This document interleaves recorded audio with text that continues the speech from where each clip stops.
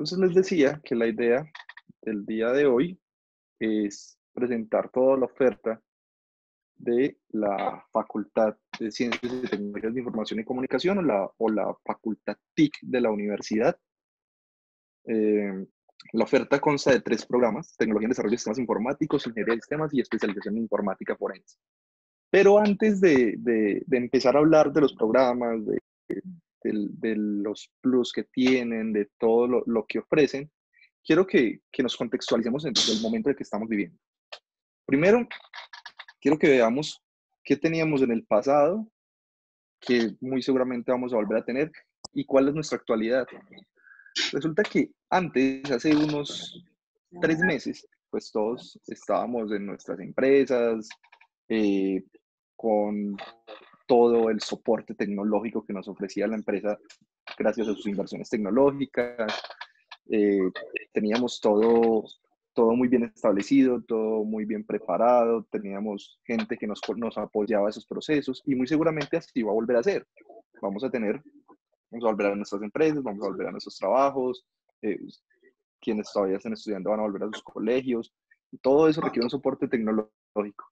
Pero ¿cómo estamos ahora? Estamos eh, en la casa, en la comodidad de nuestras casas, eh, con nuestros equipos personales, algunos de sus teléfonos móviles, Digamos que eso es, eso es más o menos lo que está pasando en este momento. Entonces, ¿qué teníamos y qué esperamos volver a tener? Pues primero todo planeación. Teníamos, antes teníamos todo muy bien estructurado, sabíamos qué íbamos a hacer, para dónde íbamos, cuáles iban a ser nuestras inversiones, sabíamos, teníamos todo muy bien preparado. Teníamos equipos de comunicación y servidores excelentes, como les decíamos, tenía, teníamos una, una infraestructura tecnológica preparada para para lo que nos iba trayendo el mundo y las necesidades que teníamos en la empresa. Y teníamos nuestros equipos de soporte, o sea, teníamos gente 24/7 trabajando para la empresa, apoyándonos y eh, colaborándonos en todas las necesidades que tuviéramos. ¿Qué pasó? Con esta emergencia, pues la planeación se volvió un desastre, realmente no podemos planear mucho, eh, dependemos de, de, las medidas gubernamentales, ya no tenemos tiempos establecidos para para todos los procesos que vamos a llevar a cabo, para los proyectos que estamos iniciando. Entonces, digamos que la planeación se, eh, es un desastre en este momento. Nuestros equipos de comunicación y servidores pasaron a ser el, el, el routercito que nos entrega el proveedor de servicios de Internet en el hogar y las conexiones eléctricas, pues realmente también están hechas un desastre porque tenemos muchos equipos eh, conectados en este momento, ya ni siquiera sabemos si soporta o no, si va a haber un corto o no.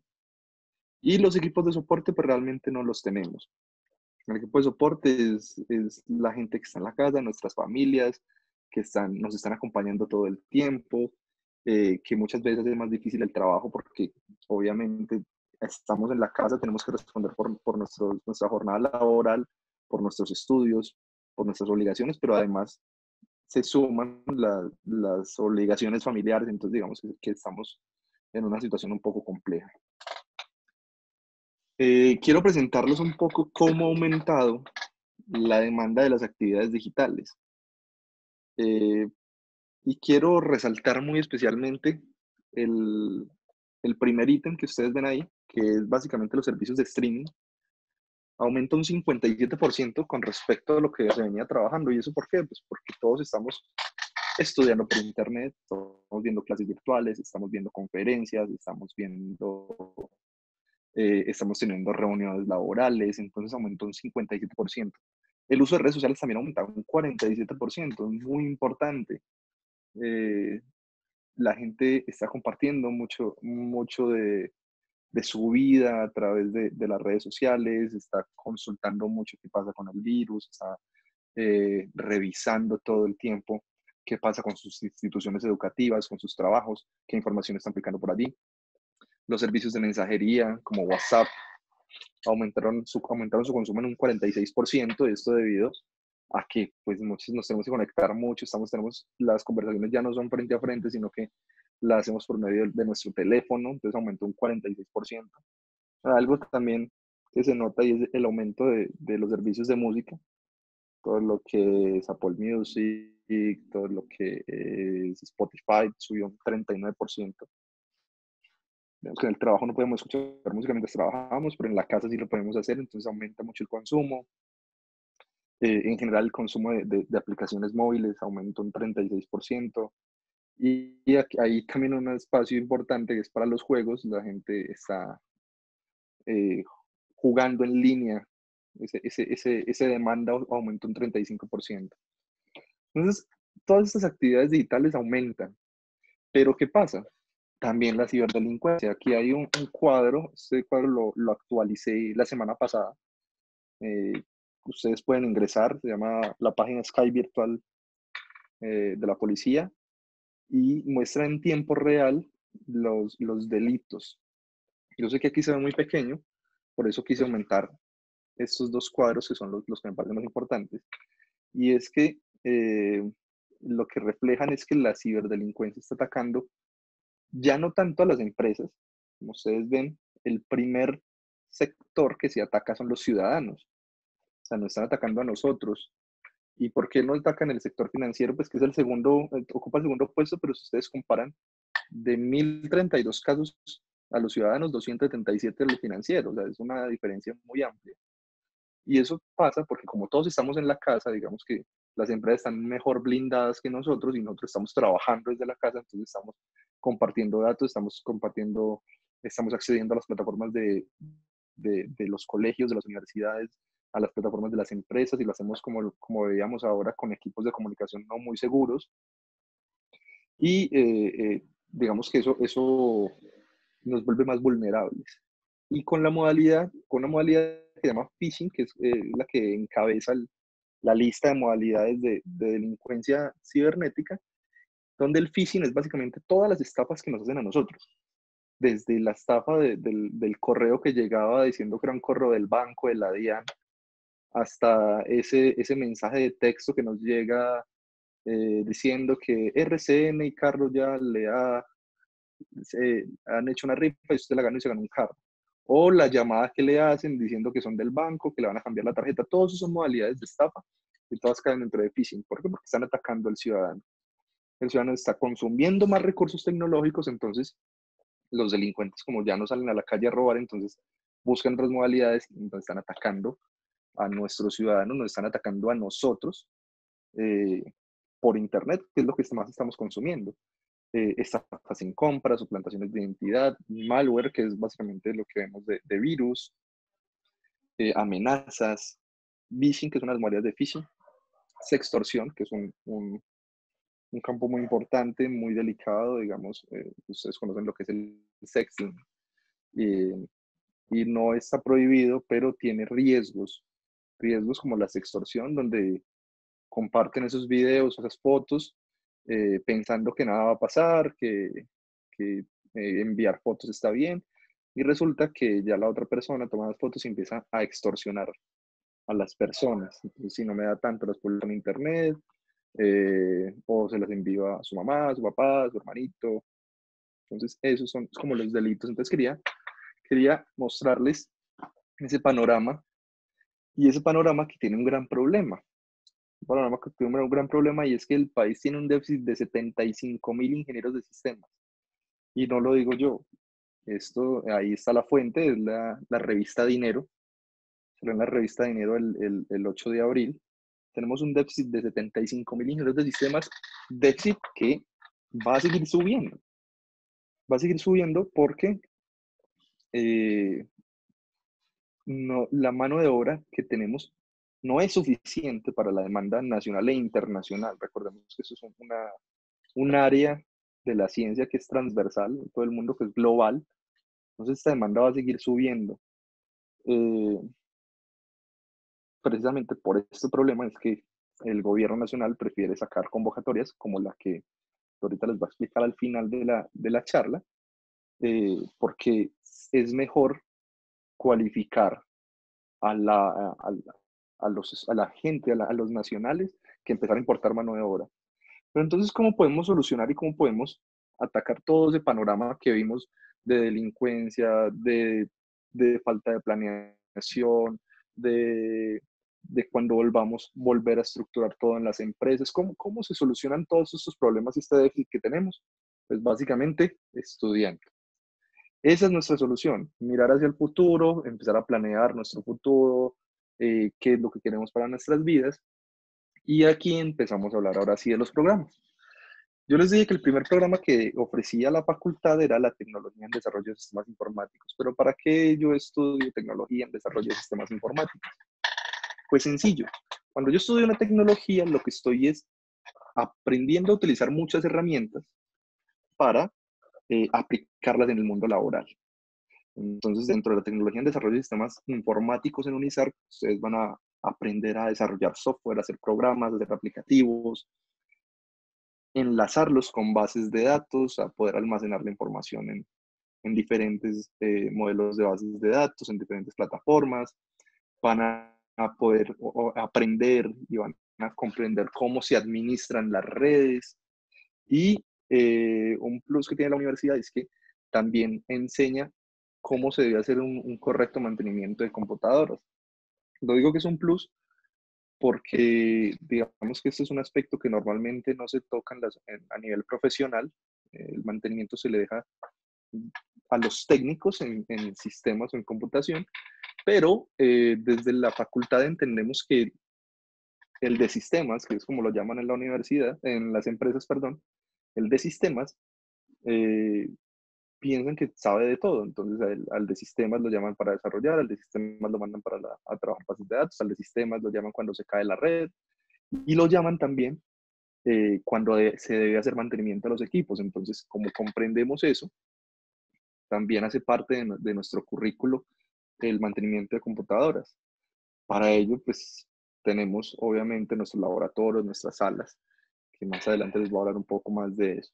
Entonces, listo, ya tenemos nuestro tecnólogo que es capaz de utilizar herramientas para eh, administrar eh, y, aplicar en su vida laboral.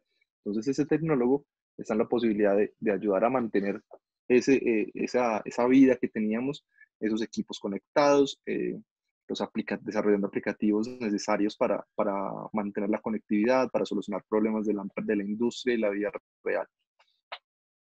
Pero cuando yo termino mi tecnología, yo puedo pasar a hacer la ingeniería de sistemas. Eh, nuestros ingenieros de sistemas, pues, tienen tres posibilidades. Uno es desarrollar software. Dos, eh, gestionar y administrar redes. Y eh, digamos que en esos dos aspectos, diríamos que, pues, que el tecnólogo también lo hace. Pues acá hay una pequeña diferencia.